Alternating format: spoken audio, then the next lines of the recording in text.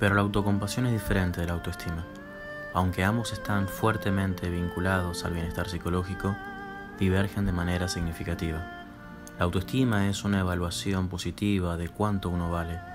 La autocompasión no es un juicio o una evaluación en absoluto. La autocompasión en realidad es una forma de relacionarse con el paisaje siempre cambiante de quienes somos con amabilidad y aceptación, especialmente cuando fallamos o nos sentimos inadecuados. La autoestima requiere sentirse mejor que los demás.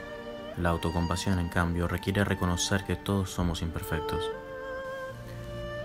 La autoestima tiende a ser un amigo para el buen tiempo. Está ahí para nosotros cuando tenemos éxito, pero nos abandona precisamente cuando más lo necesitamos, cuando fallamos o hacemos el ridículo.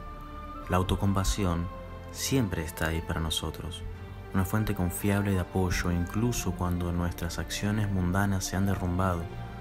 Todavía duele cuando nuestro orgullo se desvanece, pero podemos ser amables con nosotros mismos porque duele.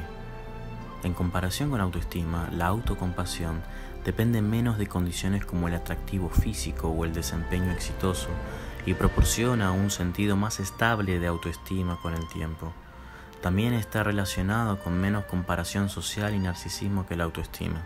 Todas estas diferencias se van a poder lograr entender por medio de la atención plena en el presente.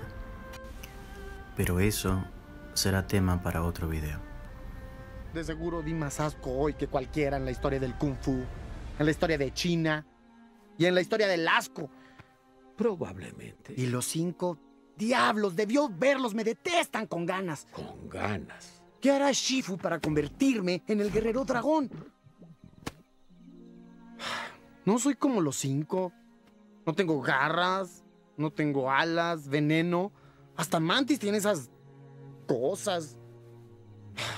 Mejor debería rendirme y volver a cocinar fideos.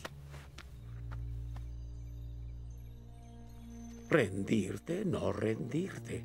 Fideos, no fideos. Estás preocupado por lo que fue y lo que va a ser. Hay un dicho.